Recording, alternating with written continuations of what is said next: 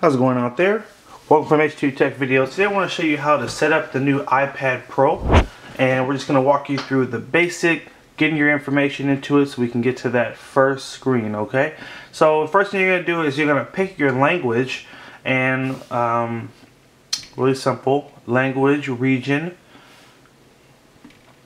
and then we're going to connect this bad boy to Wi-Fi because um, obviously everything runs off of the internet and my Wi-Fi is Larry H. Parker and password is Yo Espanol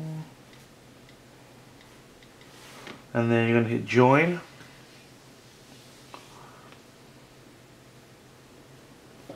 and give it a second let it connect to your network very curious to see what um, Oh, and maybe that was the wrong password. Let's try one more time.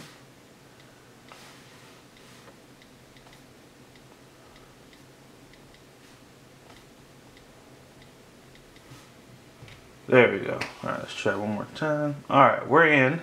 You'll know it because it'll take it immediately. And after that, location services. So obviously this is personal preference type thing. Everyone doesn't like to do this.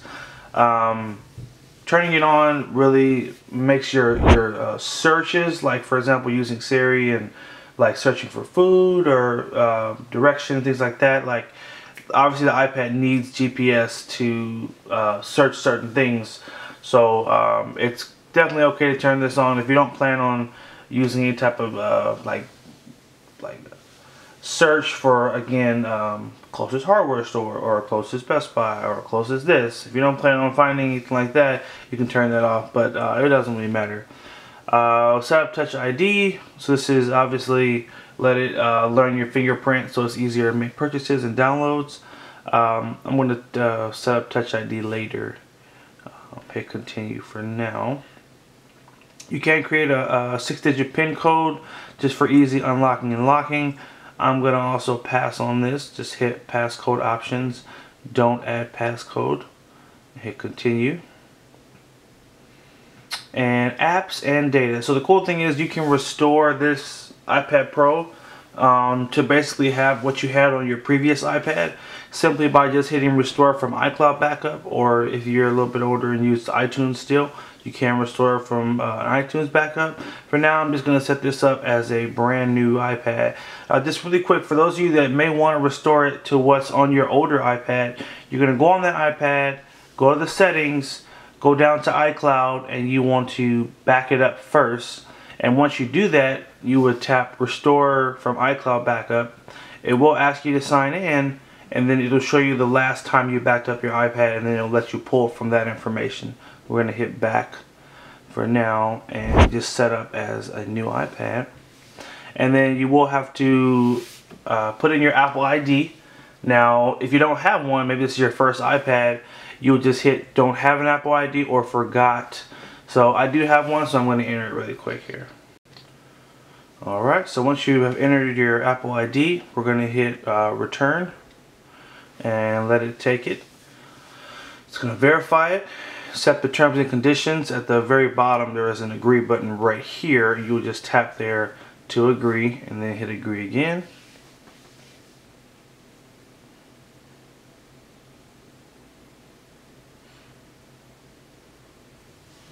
and let it update the iCloud settings um, then you have an option to turn on Siri to do that we're just going to tap turn on Siri and then the last thing is diagnostics and what it does is Apple can use the data off your iPad to uh, diagnose certain problems, certain issues.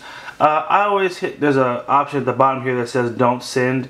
I tend, technically, I usually do the don't send because um, I feel like it can lead to them dipping into other things that they're not supposed to be looking at. So I usually choose to just bypass that. Now we're going to get started and here it is. And my goodness, this screen is just so darn big. But there it is, guys. Um, right off the bat, I can tell you I'm not a, a fan of how spaced out the apps are. Uh, I feel like we should be able to have another row of apps, you know, to make it look a little bit cleaner. But nonetheless, this is it. And again, my curiosity is really, uh, I think this tablet's going to be so great for web browsing, just having such a, a full screen. Um, but again, we're going to play around with it. Uh, our first impressions video will be coming out real soon, and we'll let you know uh, our first thoughts about it. Alright, thanks for watching. Make sure you like, favorite, and share the video if you did find it helpful. Make sure you also subscribe to H2 Tech videos, and have a good one.